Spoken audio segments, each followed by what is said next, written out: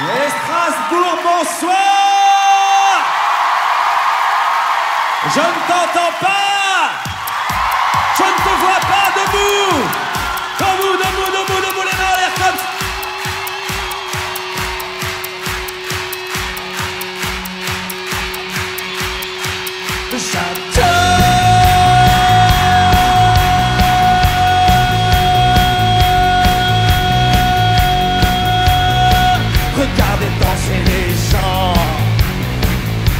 retourne souvent. On parle de l'ours Regardez danser les gens. Oh, j'adore, j'adore, j'adore, j'adore, j'adore, j'adore. Les institutrices, péricultrices, administratrices All right, well, thank you everybody for being here.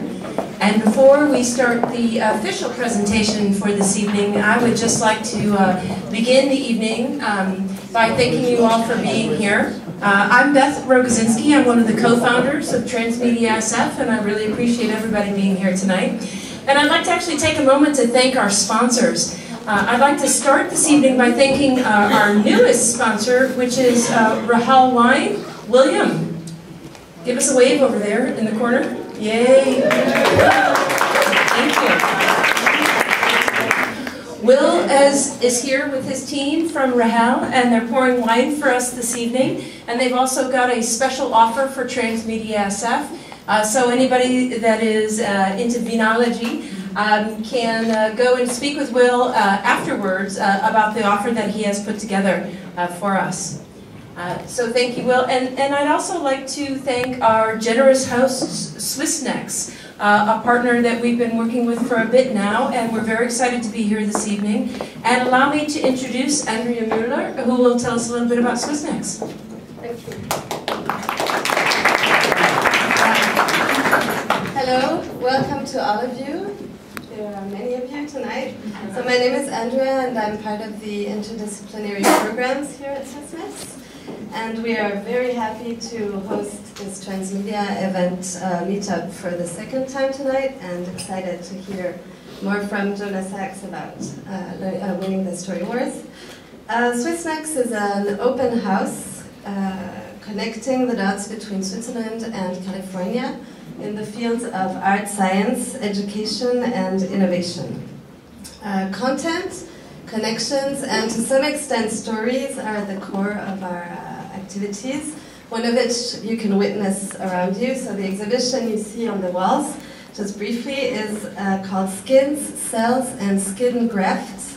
It's a collaboration between the Burn Care Center and the Cell Therapy Unit of the University Hospital of Lausanne.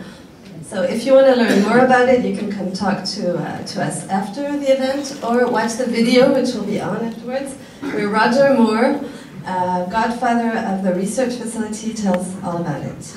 Another of our events coming up soon, it is an online event this time. It's uh, uh, the Urban Data Challenge, so it might interest some of you. It's an international online data visualization contest um, with data sets from the cities of Geneva, Zurich, and San Francisco. All designers, programmers, artists, and hackers are welcome to participate. And the competition will be launched both in Geneva during the LIFT conference and here at Swissnex on February 6th. So if you're around, uh, come join us. You'll meet the jury, fellow competitors, and maybe team up. Um, besides, there are also very cool prizes to be won. Uh, the winners will be uh, will be receiving a flight to either of three cities, and uh, so spread the word. And uh, about all our other events uh, going on. Oh, I forgot to show this. Sorry. Uh, you can visit our website swissnexsf.org. Thank you for being here.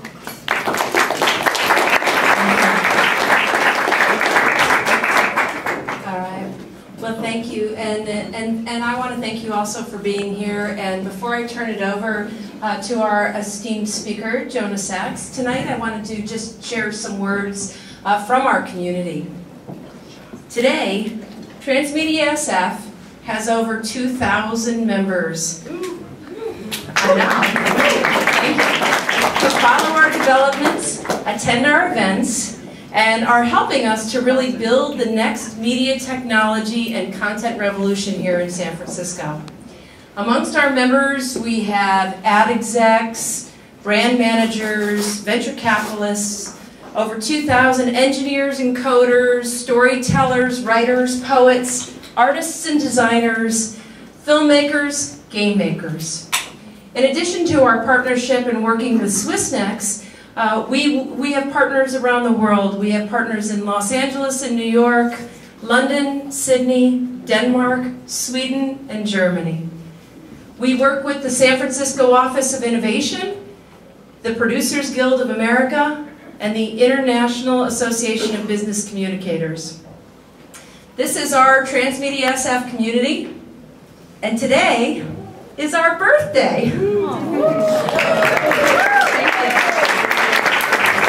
It was one year ago that we started this group, my co-founder Maya Zuckerman and I.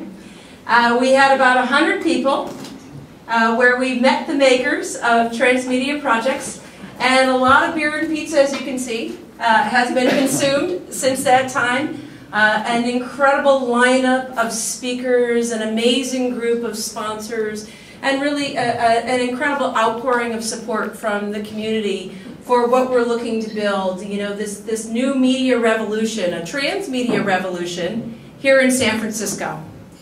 And we think San Francisco is the perfect place for this revolution because haven't we always done this, right? You know? Media revolutions, technology revolutions, communication revolutions, cultural revolutions, and isn't this all of that?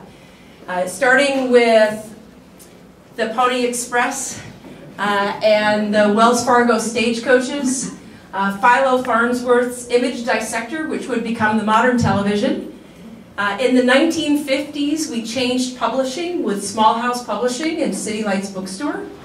In the 1960s, we saw the power to the people in the Summer of Love.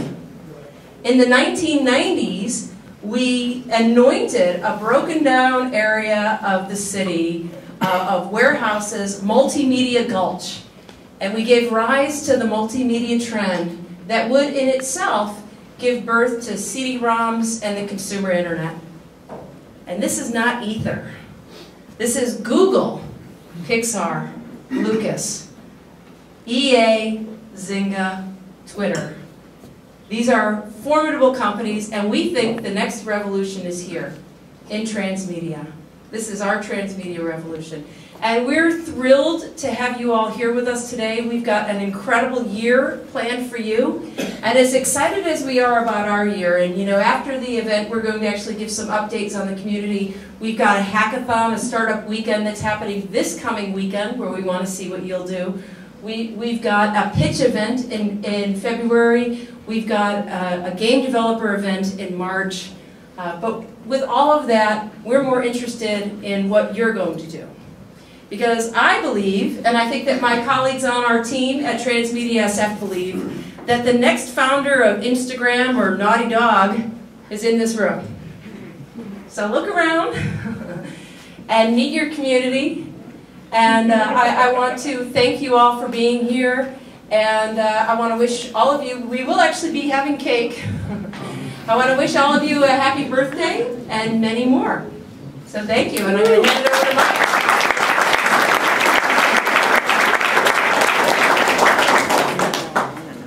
Hi, I'm Maya, the co-founder of Transmedia SF, and I'm really excited to see all of you tonight.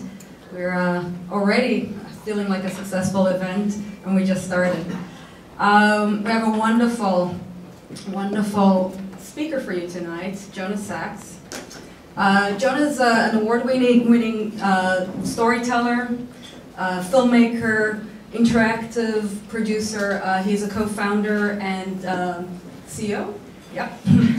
of uh, Free Range Studios. And I actually did some work with Free Range Studios a few years ago. It was a great, great project. It was called um, Moutholution, or the Mouth Revolution, where your mouths would swing and start spitting the food because they wanted organic food. It was great. So, so Jonah really has this amazing way of telling stories uh, through the Meatrix and the story of stuff.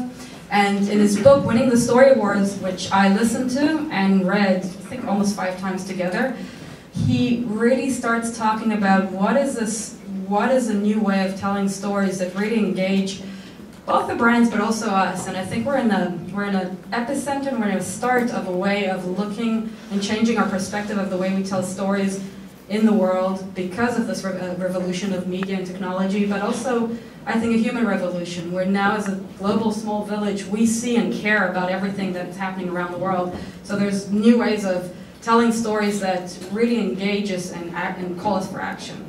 So with no further ado, Jonas Sachs.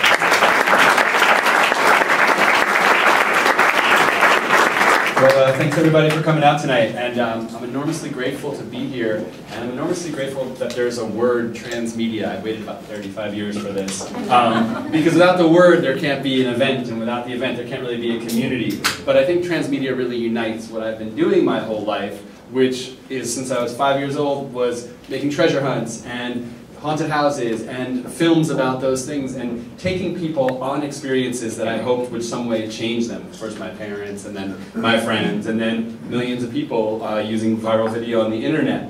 But what united all these experiences and what either would make them incredible successes or horrible flops was the quality of the story layer that was applied to them. So you could design out this amazing experience, but if the story connected with people, that's really what I think kind of would make the make or break the experience. And so for all the people in this room who are designing those experiences um, throughout across media that will hopefully change the way people live and behave, um, I'd like to offer some of the tools that of storytelling that I think can be applied to sort of any branded experience or any sort of media experience. And so I've spent the last several years working on this book, winning the Story Wars, to kind of explore what storytelling means to human beings and then how to do it. So tonight, I'm going to talk a little bit about how to strategically create a story around your project, um, some of the tips and tools that make that story potentially go viral, um, a little bit based on my experience making this viral video, The Meatrix, in 2003 about factory farming, and um, also why this is so important. Because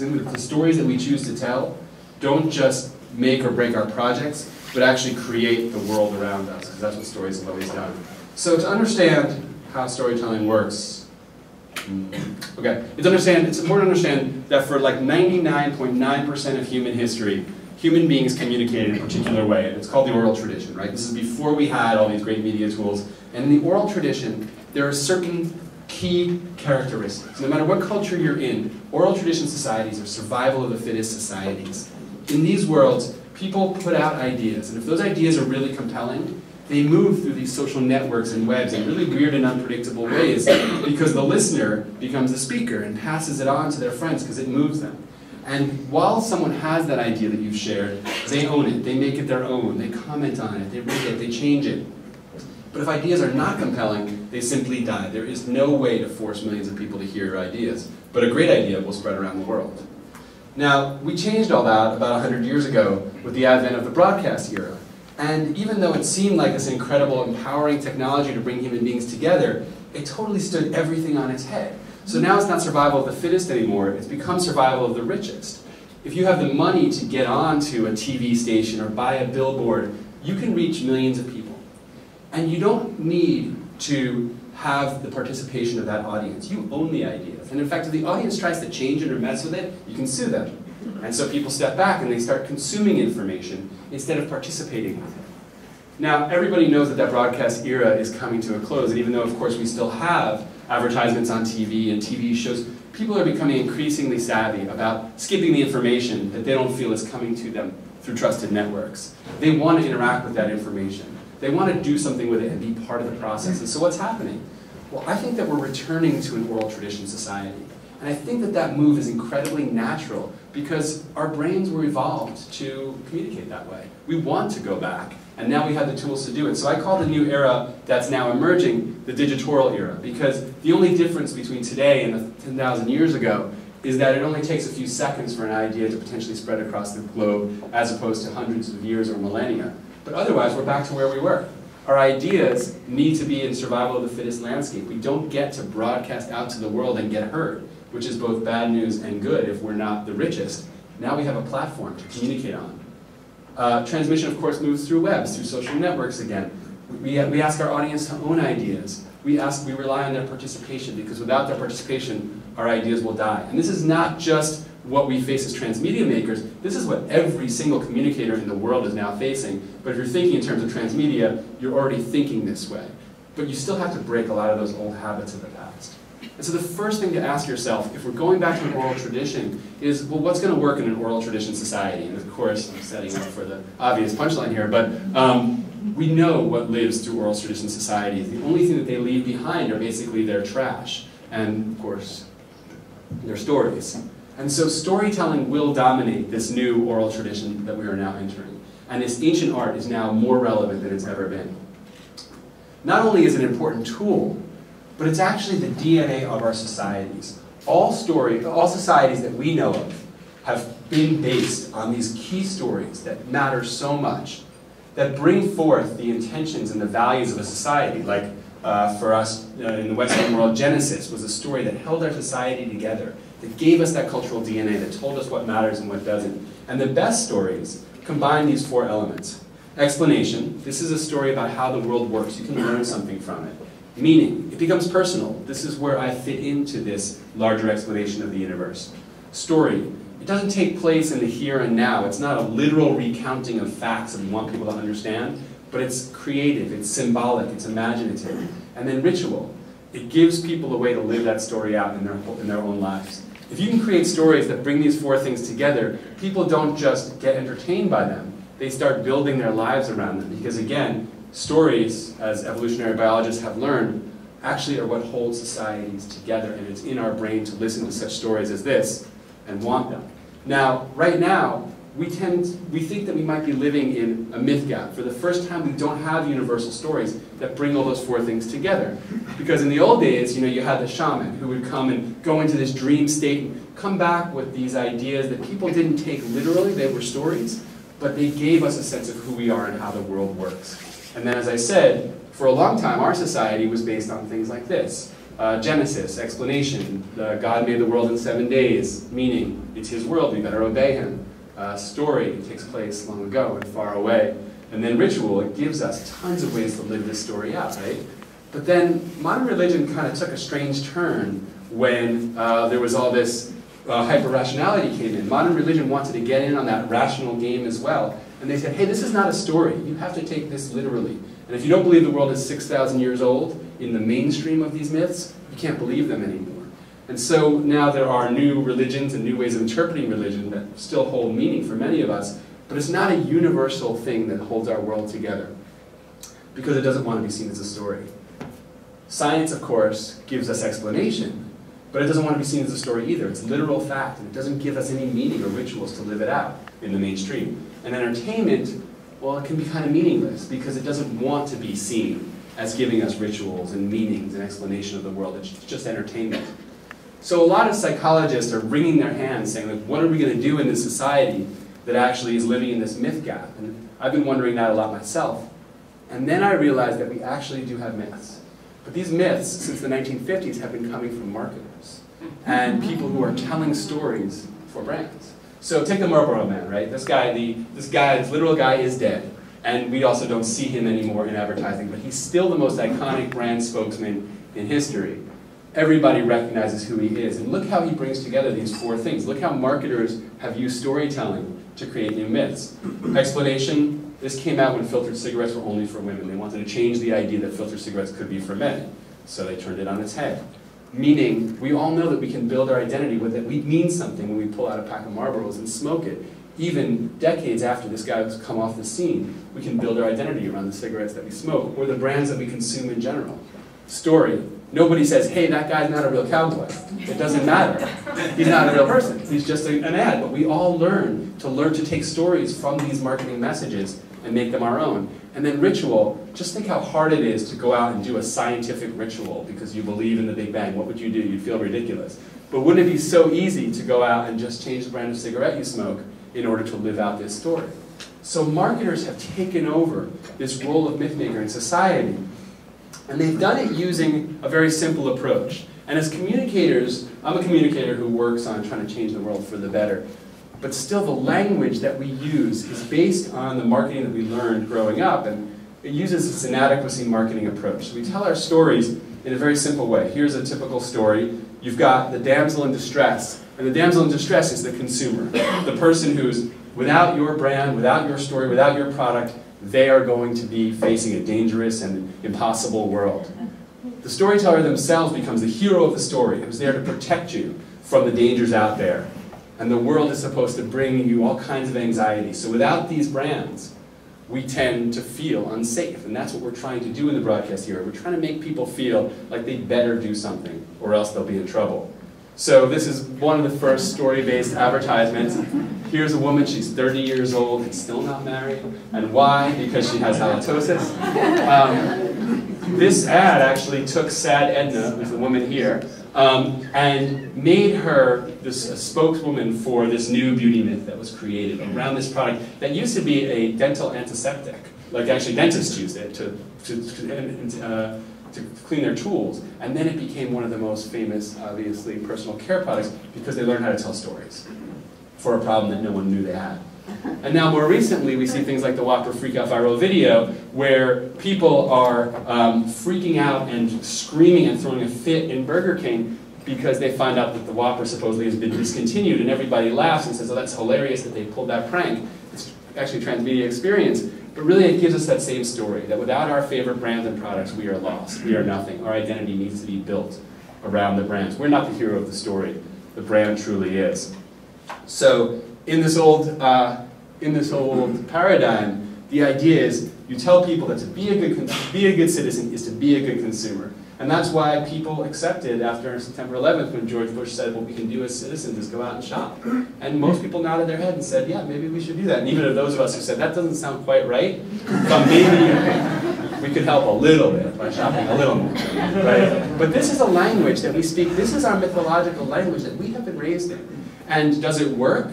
Yeah, we went in the 1950s from a society that was based on thrift and saving through the Depression and World War II, back to the Puritan work ethic, to a society that consumes more, that builds their identity on consumption, and straight into the ecological crisis that we now face. It really worked. But it's going to come to an end. Going back to that, that idea that I brought forth before about the return to the oral tradition. You see, this guy is Joseph Campbell, and he's an expert on the oral tradition. And Joseph Campbell, what he did was he was really interested in that survival of the fittest landscape I was telling you guys about.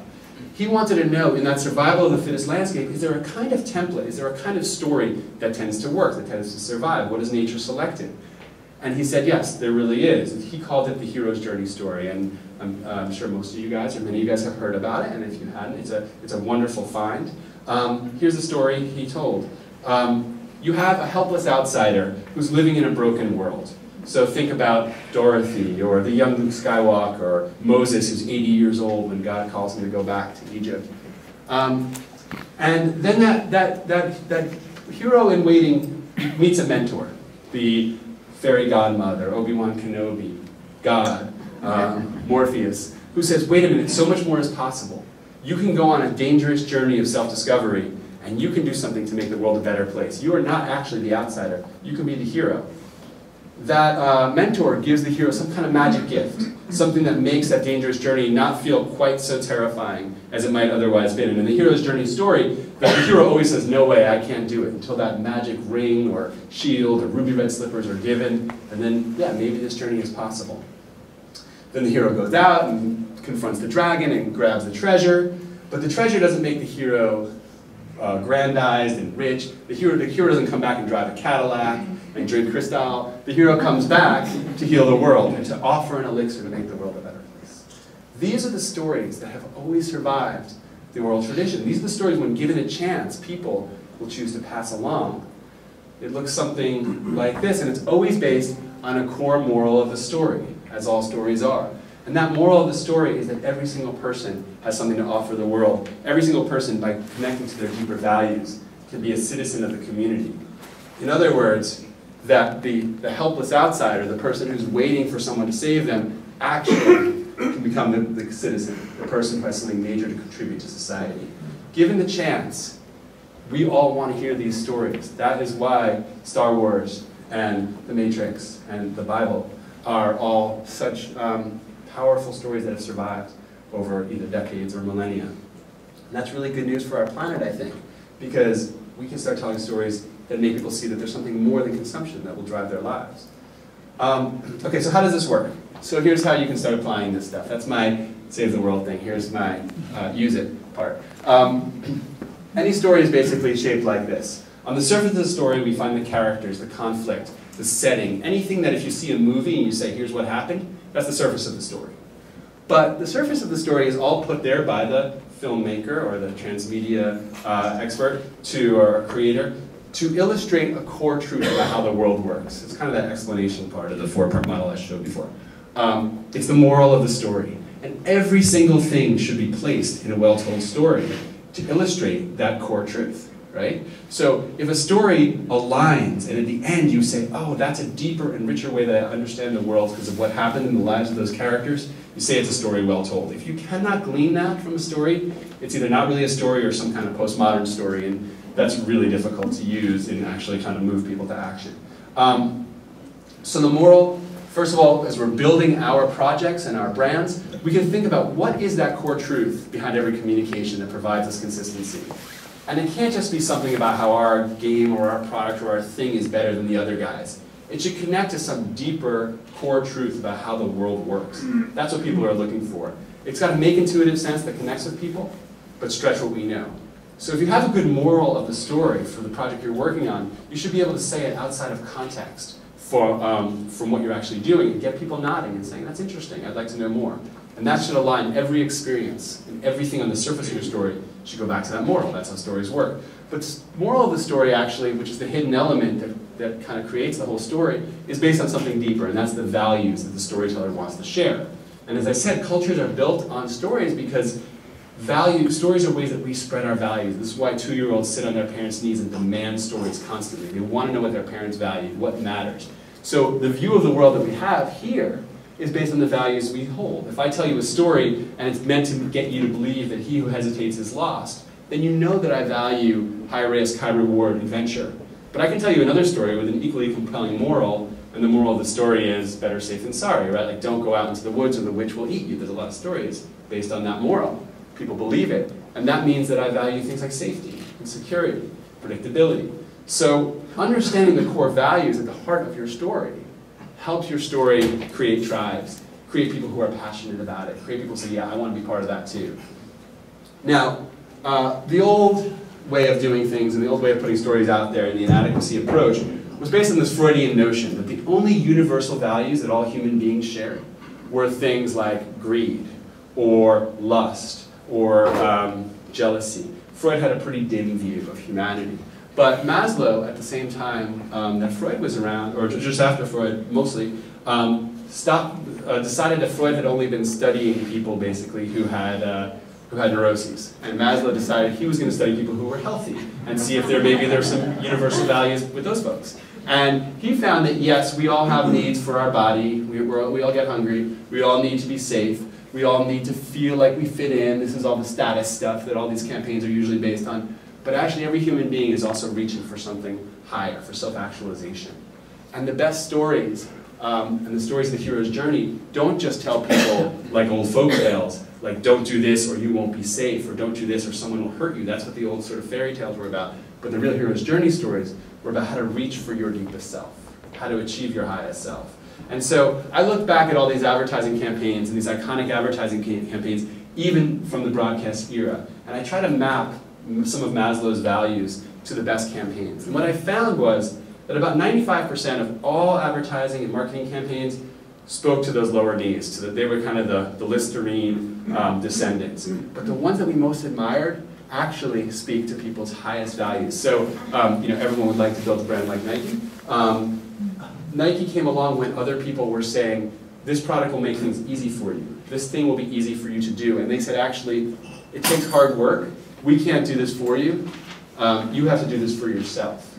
Um, so the harder you work, the more you will achieve. That's the exact opposite of most marketing, and obviously that created this whole just do it thing, and it's based on this Maslow value of perfection, that takes hard work to succeed. The most famous print ad of all time is this Volkswagen ad, and it came along at a time when it was de facto believed that if you drove a hotter, more expensive car, you would be cooler. And Volkswagen said, yeah, a car is just a car. And speaking to people's need for truth and to tear down falsehood is another Maslowian value. Obama didn't say, I'm going to fix this country for you. Obama said, you have to fix this country yourself. He spoke to our need to actually be empowered to be part of community, where most political candidates think people don't want to hear that. They want someone to serve them and be the hero of the story. Um, the story of stuff. We made this 20-minute video that wound up reaching over 30 million people. Um, no one thought that anyone would want to spend 20 minutes thinking about where our stuff comes from, the materials economy. But actually, people have a deep need to understand the complexity of the world through elegant simplicity, to be taken on a journey to deeper understanding, another of Maslow's values. Uh, the famous Apple ad, of course, where everyone assumed that a computer would make life easier for us. Apple said, actually, it's a, it's a tool to express your own creativity, to rebel against a system where people are doing it for you, you can do it for yourself. So always taking the slightly harder road, going on this deeper journey based on these higher values, are where we find some of the best and most beloved famous ads and marketing campaigns. So we can use some of these values at the heart of the stories that we're building to start building both our values and the core truths that we stand for. This is the beginning of building out a map for a brand or an experience that we hope to create. But we can go deeper using this these uh, hero's journey uh, model because just having ideas and values is not enough. So here's what we can do. First of all, we can recognize that the hero of the story in the great stories is always the outsider the person who doesn't know much about your world. So in other words, instead of telling stories where you become the hero, you have to make your audience the hero of every story that you tell. Recognize that the hero of the story is not you, um, but is an outsider, and someone who's going to be reluctant to engage, who has lots of other opportunities. But really where you could first connect with them is this dissatisfaction with the broken world, and this feeling that they can't quite live out their values. How can you help them become the hero of their own story and more deeply connect on values that you share? Second, if you're not the hero, who are you? Well, this gives you a chance to think of yourself in the mentor role, the person who says so much more is possible in this world.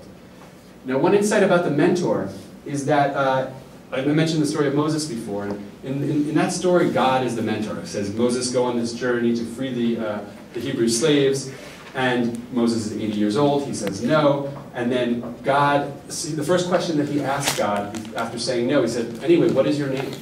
And that's the first question he asks. It's a little mysterious in the Bible, and God actually has to come down and sit on the mountain with him for seven days to convince him to take this journey because Moses wants to have a deep human connection with God. And it tells us that for a hero to get moving towards their destiny, we actually have to have a human connection with our audiences. And in that broadcast era, we kind of started booming in that actual voice of God, telling people what to do. And if people felt like, well, you had access to these machines, I better listen to what you're doing, because I'm not a you are, it sort of worked. But now everybody has a chance to speak. And people are looking for voices that feel uniquely human. And so we can build our story um, around this idea that we are a mentor and that we're actually a human being that gets people moving to their, to their destiny. And we start asking ourselves, if we are multiple people representing this story or this brand, how do we hold it together? We can think about our archetype.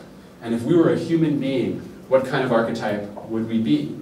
Do we use humor to move people to action? Are we a mentor more like a rebel or a pioneer? Um, we use 15 different archetypes in our work at Free Range, and we actually uh, sell these kind of cards to help people think through, if we were a human being as a storyteller, what kind of storyteller are we?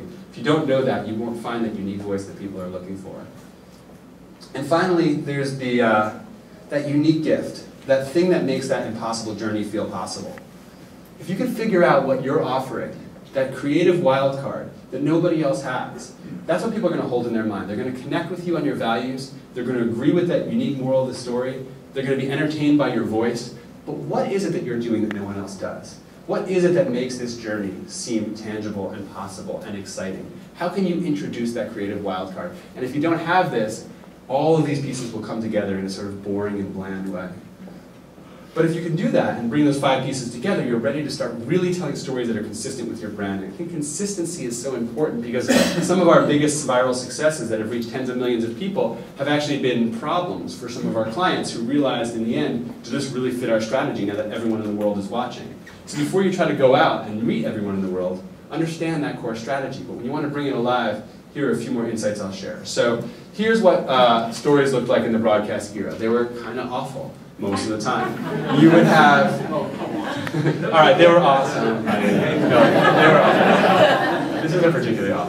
Um, so they would bring together three simple things. If you could get these, bring these three simple things to a television executive who had to fill a slot, you could get on the air, right? Bring some characters together, have some problem that they face, and let that problem play out again and again and again, right?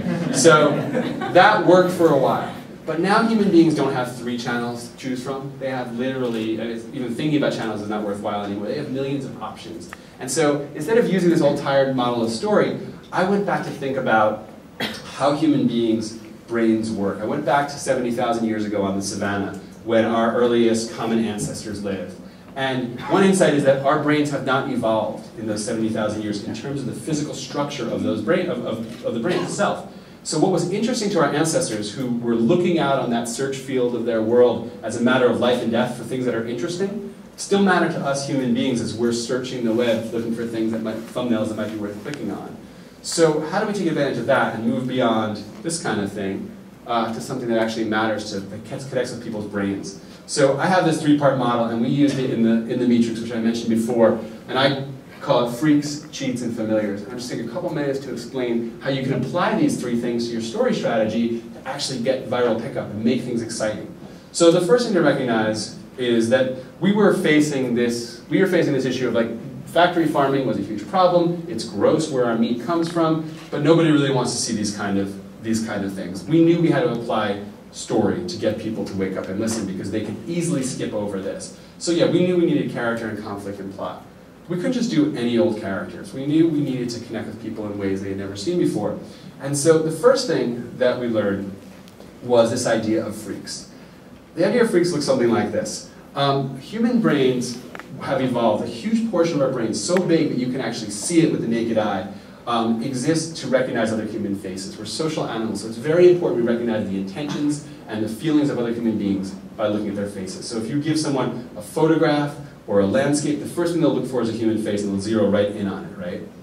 But it's not just any human face that really matters to us. You see, we, were, we grew up at 70,000 years ago in tribes of about 80 people, family groups. And so um, if we ever saw someone who looked different than the people that we saw and knew every day, that was a huge danger or social opportunity. Either that person was going to kill us, or that person would have something very valuable to offer us.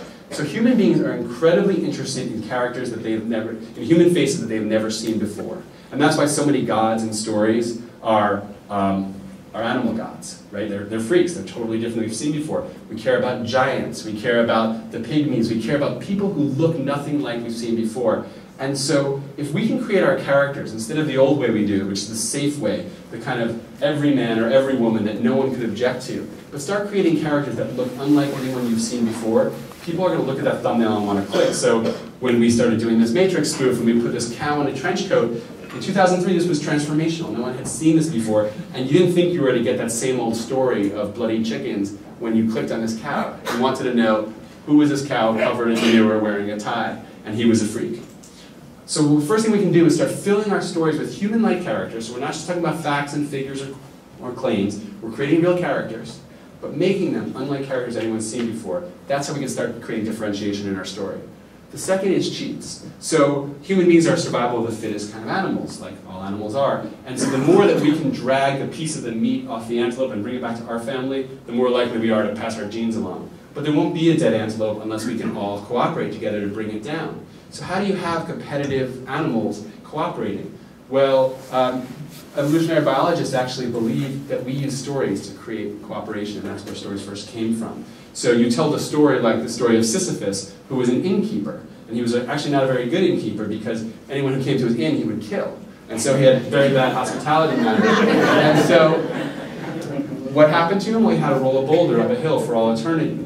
And so people listen to that story, and then anyone who owns an inn thinks twice before killing people who come instead. And that's how you create commerce, right? So we are actually attuned to listen for stories about people who oppose social norms.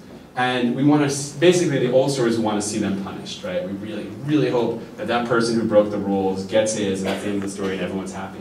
But in our modern society, where we actually object to a lot of the old ways, there's another kind of cheat that we really like, which is the rebel. The person who tries to tear down the old way of doing things, and we, we get on the edge of our seats and wonder what's going to happen to that person. So instead of just using conflict in our stories, if we can think about how someone is really opposing the normal way of doing things, that creates the kind of conflict people really care about and want to listen to. And so to create the Meatrix, instead of just showing antibiotics and bloody chickens, we created this metaphor through the matrix of how um, factory farming is really like this machine, and man versus the machine is a, rebels versus the machine is a constant mythological theme. So our characters are the rebels, the bad guys are this machine who is trying to take over the world, and now we have conflict that actually matters to people on a biological level. And you can do this too. Instead of just creating any old character, create freaks. Instead of just putting them in any old conflict with someone who happens not to like them, figure out what social norm are they trying to renegotiate? What old way of doing things are they fighting over that matters? And then finally, this idea of familiars. Um, in our tribes, the storyteller would usually sit down and recount their lineage, say who they were, make us believe that they are one of us, make us believe that the conversation that they were about to have was a conversation for us. And I think that as we create freaks and create these crazy um, characters that feel so different to our audiences, we have to also recognize that we need to start in the conversation that they're already having. Because they're the hero of the story, we need to figure out how to make our story relevant to the conversation that they're already having. So how do you encode your idea in an idea that's relevant to the zeitgeist of today? How do you look out and say, this is what people are already thinking about? Let me join that conversation on Twitter or on Facebook. Let me join that conversation and then suggest something a little bit different.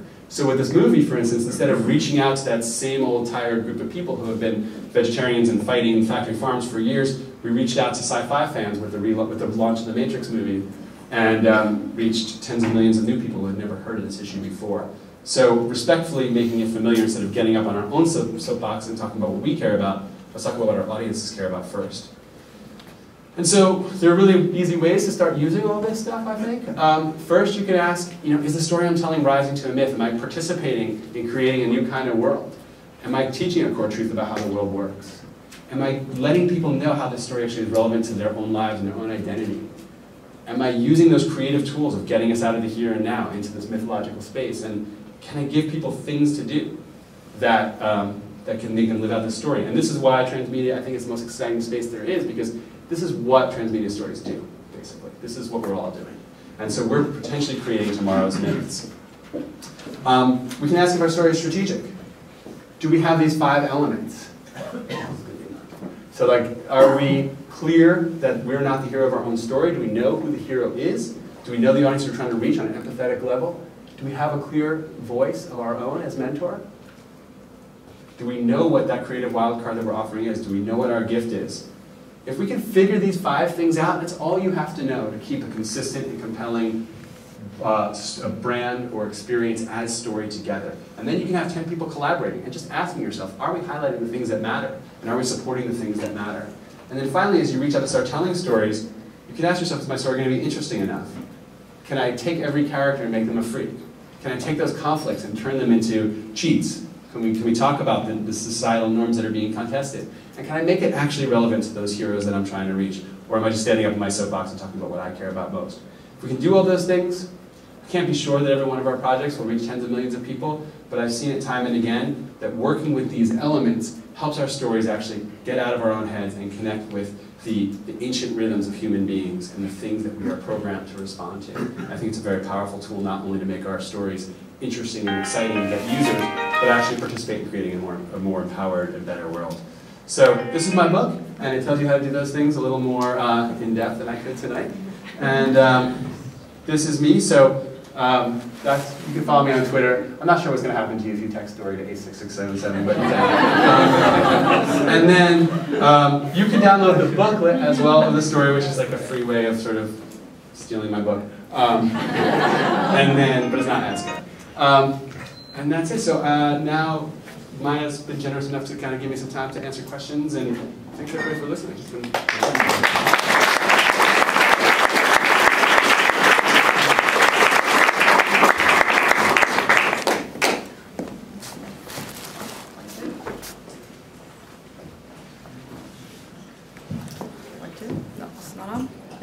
One, two? Yeah. It's on. Thank you. It's amazing. Does anybody have a question that they want to ask right now? Somebody in the back. Gotta come closer. for three different I was just curious if you had any examples of um, any of your projects where you used three different types of media in an innovative way? So you Should I repeat that entire question? Yeah. I was just wondering, uh, transmedia is usually defined as three different media working towards one story or fleshing out one story. Um, and I was wondering if you had any examples of some of the projects you've done where you've used more than, or three or more media uh, for the project in an interesting or somewhat innovative way. Mhm. Yeah, um, we actually have. We did uh, this interactive, interactive documentary, um, Beyond the Fire, uh, that, that was one of the, in 2005 went to Sundance and uh, was really a new way of looking at what a documentary could be. So um, it, was a, it was a story that was told, uh, was about uh, children survivors of war. And um, it was a story that was told sort of in three different ways. It was told by uh, the filmmaker who kind of set out to create this, this, this, this exploratory documentary. But then it was a story that was also um, an offline curriculum where kids in the classroom would then um, actually get on the phone and talk to some of the people who were featured in the documentary, creating, um, you know, creating connection with them, and then also create art for through those interactions, and then all kind of flowed back to that central central thing. So it was really a way of, uh, for the first time, really connecting people through this. It was not just an interactive documentary, but it was also kind of auditory and telephonic as well as um, as written that I thought was really powerful and uh, and was was seen as a, kind of a new way of doing documentaries. That's that's one example. I mean, a lot of the work that we do is activism work. So uh, with Story of Stuff, for instance, there's um, quite a bit of Annie Leonard will create the next video. The community then will create a whole bunch of offline actions that they do that feed back in, and then create um, stories and art for the next video. So, yeah. Um, uh, thanks, that was a great presentation. I had a question really about technology and how when technology first arrives, we have a hard time making use of it to tell the appropriate story. So in TV, you know, it's evolving. We film radio shows and plays, and it's very difficult to see how these new narrative forms can, can, can shape themselves. So I guess my question is, where do you think we are in the progression with multimedia or web, web media in particular? And um, you know, is that really, in some ways, a lot of times a distraction from the value of a, of a great story, you know, a good magazine article or a good book that you want to read all the way through versus bells and whistles and things like that? Yeah, I think about this question all the time, and um, I find it fascinating because there's a there's a move towards producing and away from consuming, and this idea of well, how do you get the audience to completely interact and immerse, and let's not have this passive way of broadcasting to them. That, that seems like an obvious, yes, let's do that. But on the other hand, storytellers have always brought people, and I've studied some of this, into a sort of trance-like state of passivity, actually. And that's not a bad thing, because it's, it's, a receptivity as well. And so when you create and get people to actually sit back, you know, I, I think there's, there's ways you could actually, I, I believe you can put a camera on people, there's two ways to watch a video on the web. There's the I'm browsing, I look up, and then I'm ready to change. And then there's a moment within the first 15 seconds that people actually go like this, and like they're back on their couch, even though they're at their gesture over there, and they're ready to sit, and they can sit for 20 minutes if they have to. And getting people into that state is a state of receptivity and learning. And so I do think that there's going to be all kinds of ways that this can go. Um, and I think a lot of some of the sort of more like ARGs have been really interesting in getting people active and part of the story. But I think there's a huge amount of drop off in traditional storytelling if you're expecting the user to stick with an experience and uncover it all for themselves. Um, so I think when you, that it's very important for any of these projects to have a, a, a, pa a, passive approach, like where you can actually sit back and get the story, and then for the super users and the people who really want to engage, lots of ways to live that story out would be what I think things are going to go to. Um, I don't think we'll ever get to this place where everybody's kind of constantly creating their own stories. I don't think humans really want that. So. Hi, um, we're all here because we understand the power of story. Um, and the easy answer to my question might be buy your book, but um, yeah, which is a good answer. Um, I've been working in TV for, and film for 25 years. I live to tell stories. I'm now working for a biotech company where my job is to tell their story, and they don't get it. They think I need to either just hit people with my brochure points over and over again, or I need to just give them the science and nothing else. And I keep telling them, if we don't wrap it in a story, nobody's going to watch, so it doesn't matter what we say. Um, do you have a method that you use with your clients or whomever to, you know, reinforce the power of wrapping it in a, an interesting story, convincing people that this is the approach that works?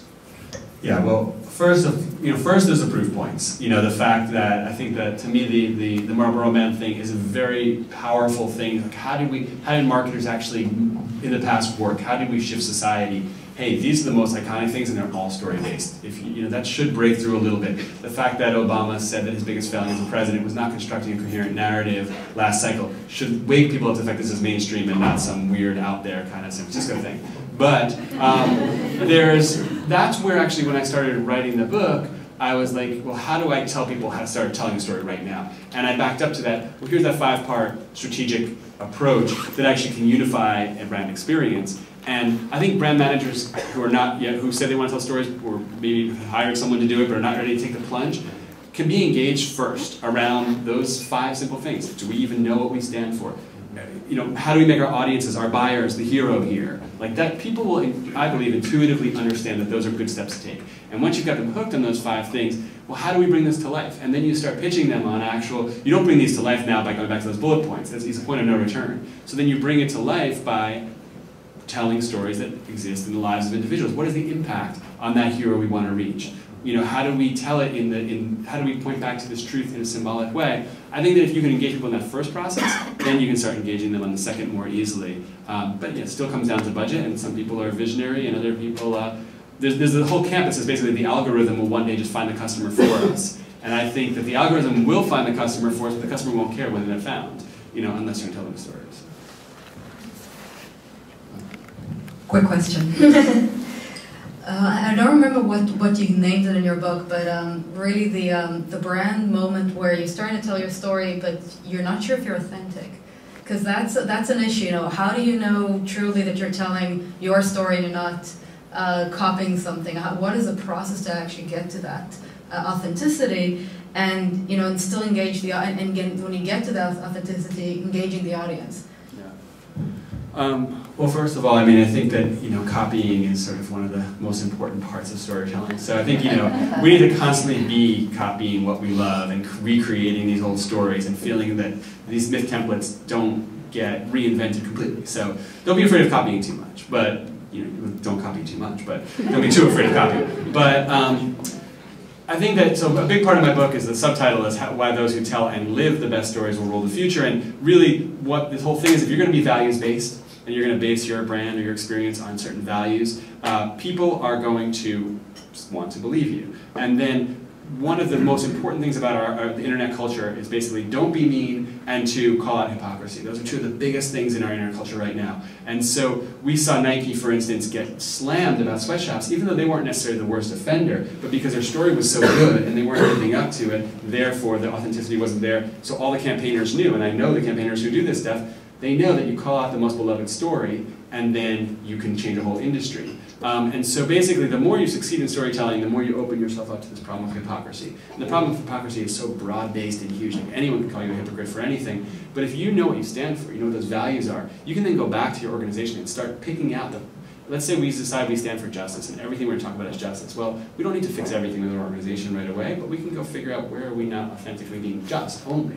And then once you do, and you go on that journey, as like Patagonia does, for instance, towards sustainability, you can tell more stories about how we're getting better at this and how we're working on it and create more stories based on that. So I think that there's a lot of a lot of things about finding our own voice that is a very individual and almost spiritual thing. But I think the values things really helps help us. You know, one of the core values um, in our in our company that we base our brand on is optimism and like is a kind of upbeat nature to all the activist stuff that we do, and that actually impacts the clients that we're willing to work with um, and, and the stories that we're willing to tell. So I think you can actually make a better organization around storytelling as well.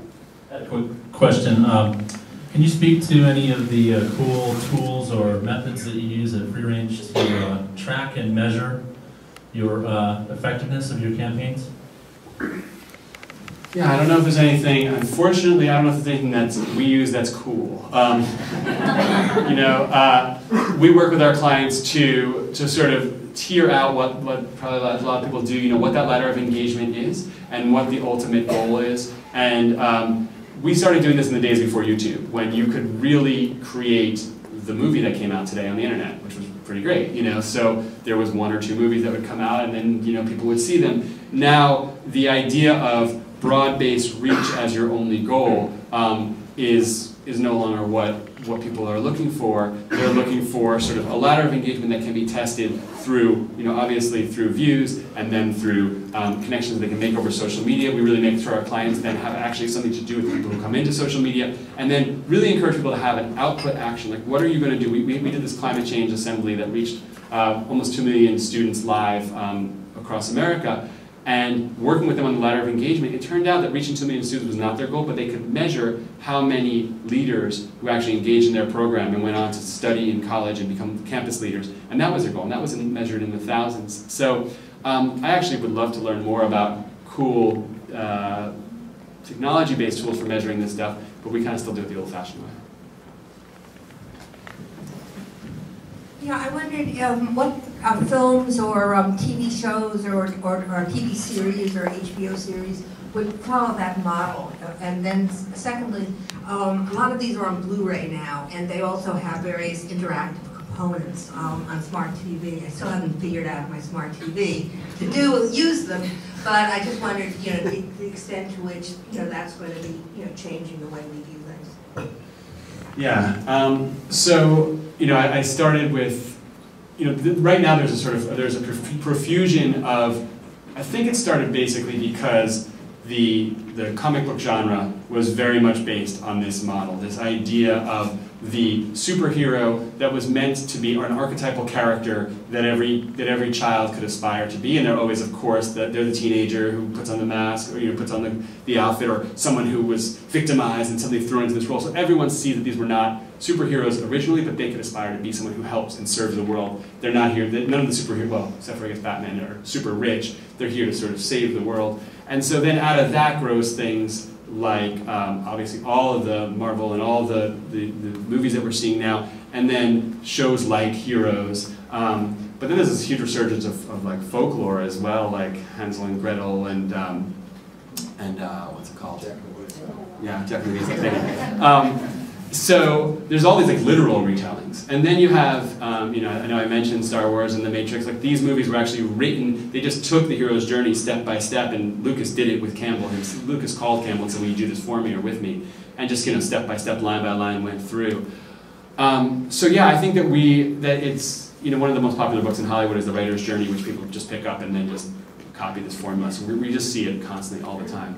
Um, in terms of like interactive television and Blu-ray and all that, where's this going? You know, I think that that's going to fold back into sort of the tools that are available for interactive video on the web. And I'm still searching for the first great, um, first great example. The, the creator of Heroes did create this very, uh, I, I kind of talked to him about how he made this amazing ARG that kind of surrounded it for the, again, for the super fans. And that's where I think, again, the model goes. Watch this show that anyone can watch, you don't do anything more with, or like Lost is another example. And then if you want to get deeper and richer content, you can get into it, and that's incredibly successful. It's also successful for marketers because you know who those fans are, and you get to embed product placement, which I'm not a big fan of, but into those games. So I'm not sure if, I don't know that much about the interactive TV part, but I do think it's probably going to roll back into the iTunes platform and all the other platforms, Netflix, and, and on your browser and your TV, which is basically a computer. Um, so, since a lot of people here uh, freelance or could work with different clients, do you have anything to say about uh, picking who you want to work with or um, which stories you think are valuable to tell? Yeah.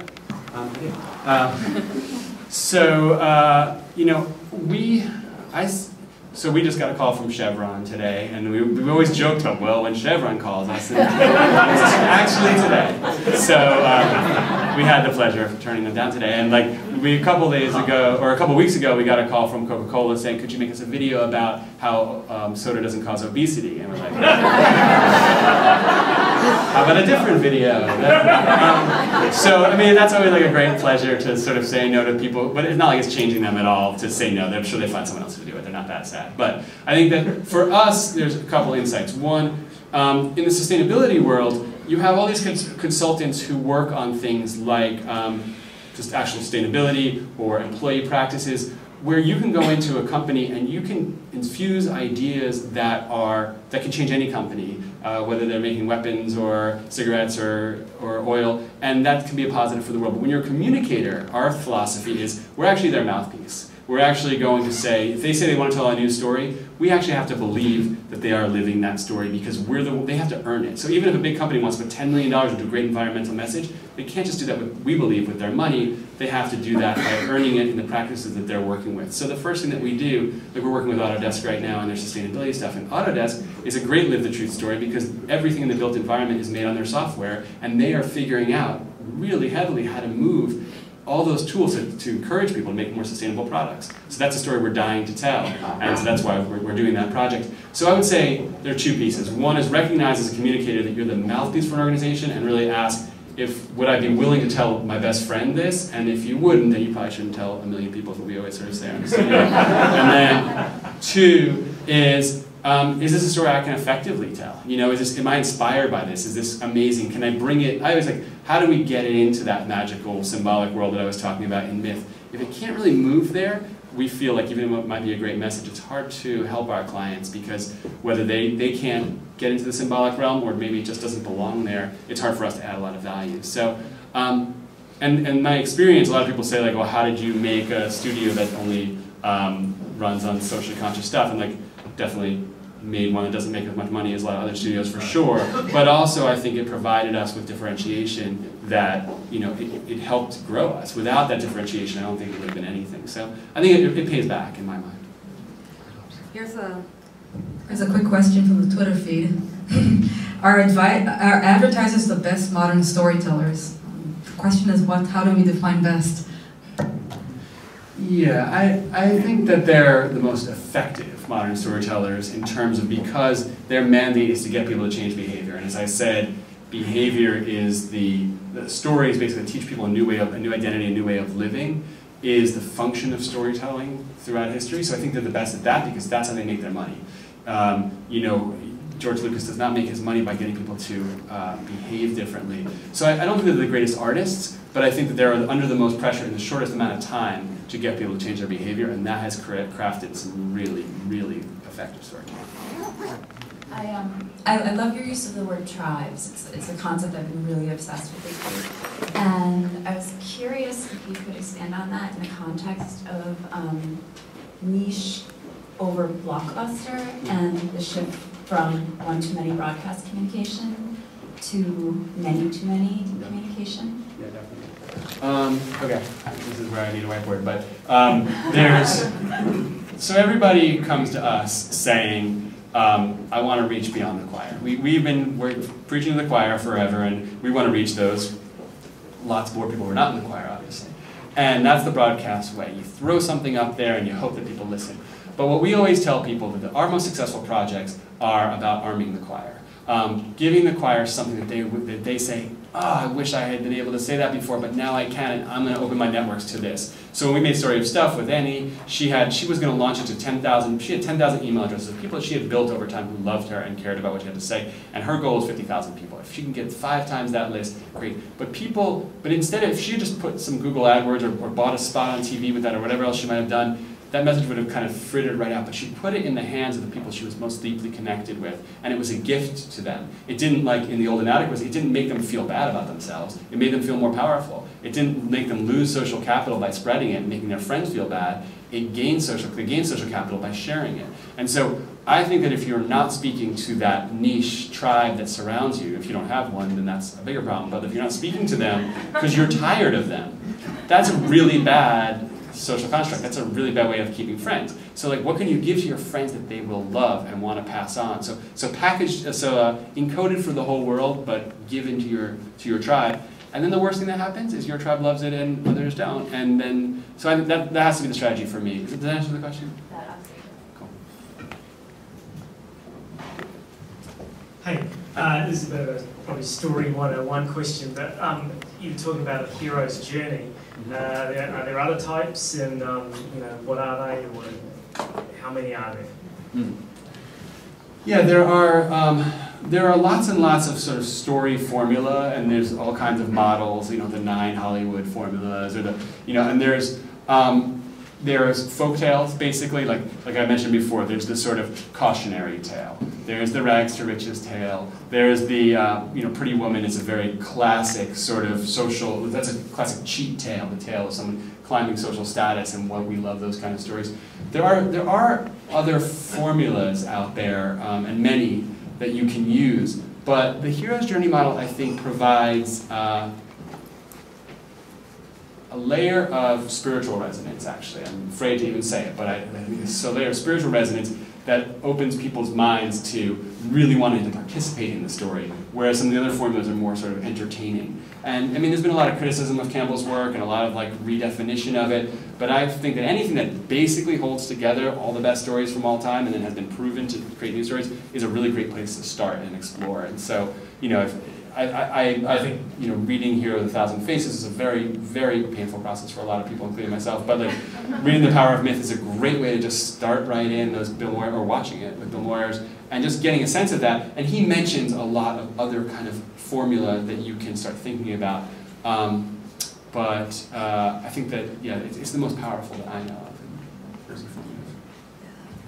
I'd love to continue that, uh, going back to the elders. The uh, comparison between Freud and Maslow, I really enjoyed that in your book, because um, I never actually thought about it that way, that the perspective that Freud created for us in the past hundred years really shaped the way a lot of the stories were told, and the perspective that Maslow gave as well. So how do we take the latter, Maslow, and um, think about it when we're creating and crafting stories to not only change the world, but also, if we're a brand, still change the world, also activate our audience and make them into rabbit friends, and also activate them into action.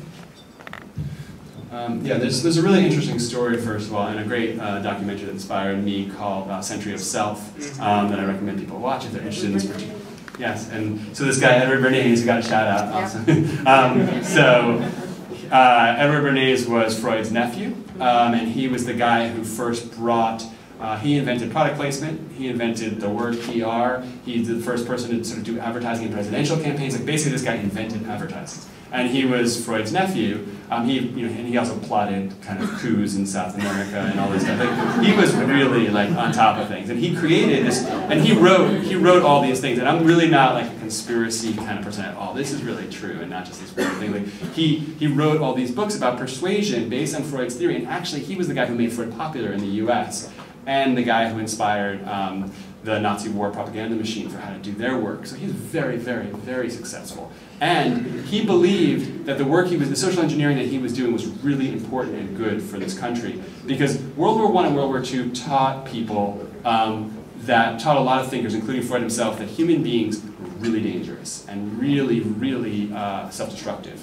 And so as we entered this time of this demand gap after the war, people weren't buying enough stuff, and also this time when nationalism had totally turned the world into an inferno, they said, well, how can we create a world in which people will work out their aggression in the supermarket? Wouldn't that be better? And then they'd buy a lot more stuff, and then like you could get that aggression out by buying a brand that your wife doesn't like, and then she, you know, everything would be like much better than going to war. And they really, they did it. It was amazing. They really did. And so uh, that's why I take, I, I believe if storytellers using media can completely shift the values of a culture, then we can do it again and even faster than they did it. And because you don't need as much money as you used to, it can come from anywhere. So um, I think it's fascinating that Freud, you know, had so he has so much to offer in terms of his views of humanity, but he really did only study neurotic people. And so what Maslow did in his innovation was to say, wait a minute, people are really driven by higher values. We, we can pursue higher values, and um, how do we use that? Like, you know, as I mentioned, we can put higher values at the core of our stories. Um, but we also can have deeper respect for our audiences. I think that's just some of the key things. To make our audiences the heroes is to have an empathetic connection to them and to recognize that every human being, no matter what the circumstance of their life, no matter how you know, we might look at them and say, well, this person's a really a media idiot, or this person doesn't know how to use their iPad and they've dumb this thing down or this person is, a, is the object of our charity, so let's not assume, let's assume that every single person actually has a higher calling and a deeper spiritual journey to live out, let's be part of that. Um, that's the core of how we use it. That's not always easy to implement, but luckily in my book. hey Jonah, thanks so much. Uh, into everything you're saying right now, love it. Where then do you start to dig for the stories? Where do you find the stories? A new brand comes to you and says, Jonah, you're, we need to, you, we love stories and it's all about stories and what do we do? And so what do you do then? Because you got to, you can't just make something up. I mean, I suppose you could, but where do you, where do you dig? Where do you find that, that inspirational story that just unlocks everything? interviewed. Yeah. So there's, you know, there's lots of different kinds of stories that I talk about in my book. There's three kinds of stories that you can start with, um, or uh, three that I usually start with. There's the sort of genesis story. So what it, what brought this group of people together to make this offering to the world to begin with? And that can be a, every every company and organization and needs that story. And I always say that that, that story should be cast as an act of rebellion, right? So the the, something wasn't working in the world and someone thought differently about it, and the people who did were freaks. Why were they so unlikely for the role? Like it's not that, like Mitt Romney was not that compelling in a lot of ways because his father, you know, his, his was passed down to him in a lot of ways. He wasn't the least likely guy for the job, and they really worked hard to try to figure out how he could be. But the genesis of an organization can be fascinatingly told as an act of rebellion against something that wasn't working, led by a bunch of freaks. And the more that you can inspire that and really get that story and recast it as a sort of a hero's journey mission, the more that story comes to life. That's not necessarily the most viral thing in the world, but it's a huge service to any organization. It can be told through video, etc. Um, the second are documentary stories. Um, once someone knows what the moral of their story or their brand is, and you can't do anything without that, I think, uh, or, or, again, you might start creating stories that say the opposite of what you want to say. You got to ask yourself, how did I learn that? How do I know that the word, you know, that human beings are inherently good? And you ask the people that you're working with, where did you learn that? What experience came forth? And get those people and maybe their customers, those people, to invite them to tell you how they learned that core truth, and something will spark. Ah, oh, this is a beautiful emotional story. Because when you ask people, how'd you learn something so important to you? The emotion starts coming through because it's very human scale. They don't usually say, I opened a book and I learned that 35, 35% of blah, blah, blah, blah, blah, blah, blah, blah, blah, blah. They'll usually say, my grandmother told me when I fell down. That this, and you can start creating a story around that. And then finally, there's symbolic stories, um, which are just totally made up and totally fantastic, and what many people are afraid to do in big corporations. But of course, all the best um, ads have been created that way. And those I often actually do, goes to the copying thing. I look at whatever sort of story is on my mind, right? You know, whatever just moved me in the last few weeks, and I kind of survey the people around me. You know, what's moving us? What's exciting? Can we, like we did with the Matrix, it's not just about spoofs, but can we use that as a template to map our story? With the with the Meatrix, we worked for like four months to figure out how we could tell the story better, and then my, my co-founder and I were sitting in a park and said, you know, remember, you know how those labels on food show you the family farm even though it's not? And you know, so the, the truth is so ugly, we have to show the opposite. And we're like, oh, that's kind of like the Matrix. And once we sort of saw that connection, we're like, oh yeah, remember those feeding pods they were in? Oh yeah, that's like the Matrix. And so everything, and then and the last thing we came up with was the name, the Meatrix. It took like a couple months, whatever. We couldn't come up with the name, which is really embarrassing. And then let's look, Meatrix. Um, so I think that, you know, I think that using templates, which is what most great filmmakers do, is playing to that formula uh, is the third way. So there's the, there's the genesis story, there's the how did I learn that story, and then there's the copying story. A few other ways. Two more questions. So I, I actually have a question. So you, so you bring up Edward Bernays, and, um, and, and amongst his other contributions, he really invented um, cigarette advertising, mm -hmm. especially for women. And, and earlier you brought up the fact that Chevron and Coke have approached you to tell these stories, and, and I'm wondering, have we come a long way, baby? And, and where are we going? And, and, and what stories do we believe when myth makers like Chevron and British Petroleum are, uh, are using these same tools that you are? Okay, so let me talk about that story about Edward Bernays and cigarettes, because that's a great story. Is um, they, uh, women were not allowed to smoke in public uh, since 1920s. And so, in fact, a woman had been arrested in New York recently for smoking in public. And um, then the American Tobacco Company said, we want to create cigarettes for women. This is a great idea. This is a big new market that we don't have, but it was so taboo. And so what Bernays came up with, first he went to this Freudian analyst who said that uh, the cigarette is a, is a symbol of the penis, and that women feel that they don't have what men have. And if they could have cigarettes, they'd be more like men. He's like, well, that's interesting. What would that be like? And he's like, well, that's just like women's wanting liberation and, and the vote. So he's like, oh, we can connect smoking with women's liberation and voting. So he had a bunch of young models dress up as suffragettes and um, walk in a parade in New York. And then at a given time, and he tipped off the whole press, they brought out their cigarettes, they lit them, and they called them torches of freedom. And um, this was amazingly powerful in getting women to rethink their role. And it's something that they actually, as they were thinking about having, renegotiating their relationship with their husbands and with uh, the sort of old agrarian lifestyle, this became their symbol of freedom, and it really worked. Um, so again, we can do this kind of stuff if we're devious and tricky and tell great stories. Um, have we come a, a, really long way? I, uh, this kind of goes, you know, deep, deeper to my worldview. You know, I, I think that no, I think that in some ways we've slid backwards. I think a lot of the stuff like Citizens United and corporate charters that, you know, as long as CEOs are, are forced to maximize profit at all costs, uh, basically, we'll never have companies and organizations that truly are building a more sustainable world together. So I think that uh, we, that a lot of bad intention or, you know, or just advertisers with profit-only intentions are becoming great storytellers. But I think where we have come a long way is that so many of the best stories, it's so democratized now, so many great stories are coming from the least likely places. And, you know, I just, uh, uh, I just saw Beasts of the Southern Wild and I was like, wow, somebody made that with nothing. And it looks better than anything I've seen in a long time. And like, that's great. That's really good news. And so I think that there's a lot of hope in the stories we tell, but yeah. One last question. Could you address the issue of subliminal, subliminal um, advertising and messaging? I mean, it gets back to this idea of the moral story that's hidden from view, where sometimes the moral is in conflict with what at least it's shown on the surface, right? So mm -hmm. in, in screenwriting, it's called subtext, right? Mm -hmm. And sometimes you know, the subtext can be aligned with the story, and sometimes it's totally counter to it. So in, in particular, like propaganda, you know, um, Hitler's propaganda was a good example of that. But could you explain a little bit more about that whole issue of you know, manipulation, mm -hmm. exploitation of the audience? Mm -hmm.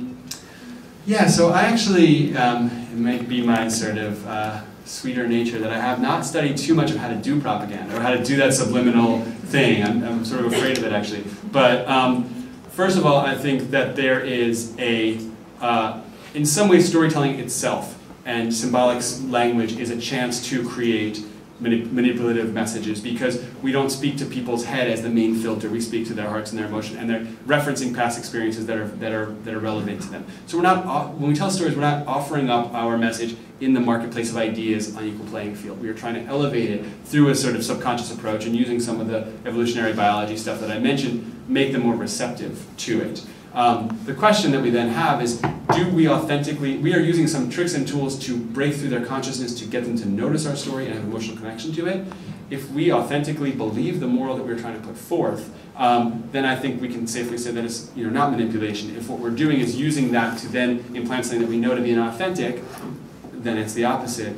Um, and again, it goes to that, what, what is our view of humanity? Do we see our audience as a, ma a writhing mass, as one of the Madison Avenue guys, of, uh, you know, of happiness machines that we just need to kind of feed, well, then we'll kind of make those messages. If we see them as other human beings that we're talking to, we won't. Um, so yeah, and I, finally, like in terms of the moral of the story, somewhat relatedly, the best stories obviously do not make the moral of the story clear from the beginning. And they're the moments, the resurrection as Campbell calls it, where you think that the hero is going to die, and if the story ended right there, you would have a very different view of what the world was really about. And so you start opening up all these great possibilities. What does this mean? What creating those gaps that the audience wants to fill in so it's not clear until deeper engagement happens what you're getting at. Those are the best stories. Not so easy in a 30 second spot or necessarily in transmedia experience, easily done, but I think that that's a great way of creating, well, tell me more.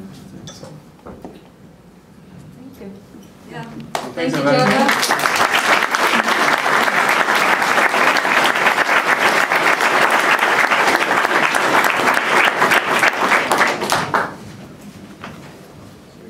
All right, well, that was an amazing experience. Thank you so much, Jonah. And, uh, and, and I actually do think that you were talking about how do you convince, you need to buy the book for your boss. Yeah. Uh, and, and everybody else just buy the book. Uh, and, and before we leave tonight, uh, there's just a couple of uh, announcements from the community, and one is actually from us. Uh, we're looking for folks to join our team. So can I get all the Transmedia SF volunteers to stand up, please? Everybody, thank you.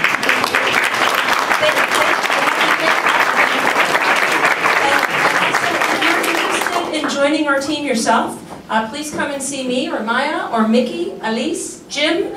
Uh, we've got some other folks in the back too. Justin. Uh, uh, and you can talk to any of us. Uh, we're, um, we're looking for some folks to help with our website and, and some other things too. So we're looking for you. We want you. And, oh, that's back to Jonah. And then a couple of other announcements. Elise. Yeah. Hi everyone. Thanks for coming. Um, I wanted to take two minutes to tell you about this event. We've been working on this for three, four months now. Startup Weekend Transmedia. In case some of you are not familiar with what Startup Weekend is, it's basically, they hate when we say this, but it's basically a hackathon.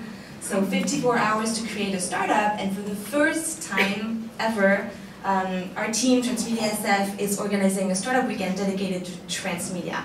So basically, if you come next weekend, I mean this weekend, um, you'll get the opportunity to work with about 60 to 80 other storytellers, technologists, uh, marketers, you know, all different people, designers, programmers, on uh, building a transmedia experience in 54 hours. And the topic for this is going to be the city. So very inspiring topic, I'm sure.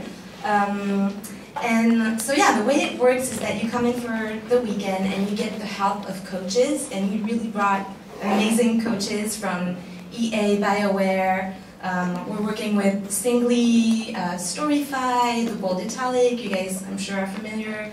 Um, Social Samba, hello, is going to be there. Um, so we're going to have a lot of amazing partners.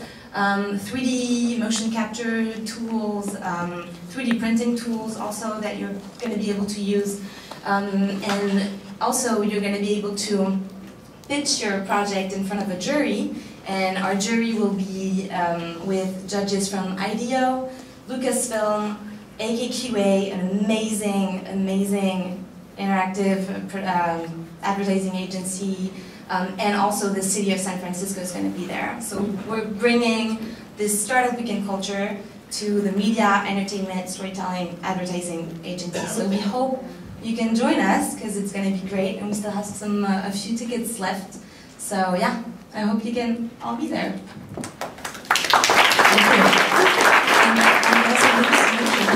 Thank you, Elise. Uh, and Elise is actually heading up that team that's running Startup Weekend. She's done an incredible job. Uh, and as Elise mentions, um, the, the City of San Francisco Office of Innovation is actually one of the judges. And the city itself is going to be a character component in the entire uh, event of the weekend. We're really thrilled to be working with, with our fair city in this. Uh, and actually prior to Startup Weekend, uh, we have a workshop that's going to kick it off, taught by Susan Bell. Okay, they just kind of grabbed me and said, do an announcement. Um, anyway, I am doing a uh, workshop uh, this Wednesday at 6.30 at Parisoma. Uh, it is actually to prep for Startup Weekend. It is called How to Create Your Transmedia Project. And if you ever want to, you know, create a transmedia project, want to be inspired, I'm going to be offering up a bunch of different case studies. Uh, also going to talk about creating characters, gamification, um, and experience design of uh, transmedia projects in about two hours. Uh, so Parisoma, 6.30, uh, you can register for it, uh, I think via the Parisoma site, uh, through Eventbrite, and I'm sure we'll tweet out uh, the registration information. Thank you, Susan. And you can also find information about all of our events at transmediasf.org under our events page. They're all listed there. Okay, everybody likes to make transmedia. One of the things we have to find out is where's the money? How do we do it? So we have the technology. We're trying to figure out uh, next uh, month. We're going to have the uh, whole uh, meetup dedicated to just uh, funding. And so any of us that are out here wanting to uh, be transmedia artists, have a project in mind, please come and hear from a range of different people. Well, what's important is not going to be venture capitalists. We're not going to be talking about starting a company. We're going to be talking about funding a project. So those of us that are creative and, and have thought, how do I get a project off the ground? Uh, this is a must-attend event. We also are going to have companies stand up Shark Tank uh, style and pitch their actual transmedia project to the uh, panel. So something we've never done before in the past as well. So we encourage you, you have to submit a video and a little bit about your project in order to be selected. It's going to be hand-selected, the people to be able to uh, present. So again, a must-attend event if you're an aspiring transmedia artist and you're always wondering, how do I get this uh, project funded? So I'd like to see you next month. Great. Thanks, everybody. So if you want to pitch, uh, let us know. We're actually open uh, for submissions for people who want to pitch. We've got some incredible people that will be on the judging side of that. So uh, again, come and see any one of us. Uh, and now we've got some uh, announcements from our community. Jen? Hi, my name is Jennifer Kincaid, and I'm from Crowdsource Art Projects, and I'm here to pitch my new project. It's a crowdsource art coloring book project for all ages. Um, QR codes um, send you to interesting um, sites on the web. This first book of the 26 book series is called um, A is for Abstract. It's the first of a 26 book series called um, The Artful Alphabet of Scribble Doodles. And Scribble Doodles are these designs, fun designs to color in in here. Um, the books are available free to download on the website, artfulalphabet.com. Um, they're fun for all ages, and um, there's going to be. For our announcements tonight, uh, I, I invite everybody, yeah, I don't think that these folks are here with us tonight. So I, I thank everybody again for coming. We actually do have some chocolate cake if you'd like to stay around. Uh, and William is still here with some wine and food, so uh, please uh, get to know your community, and thanks very much. Good to see you. Yeah, I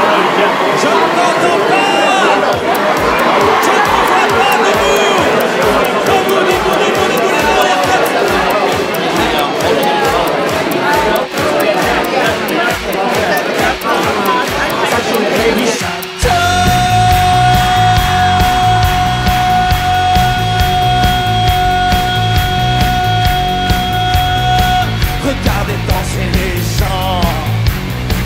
J'y retourne souvent.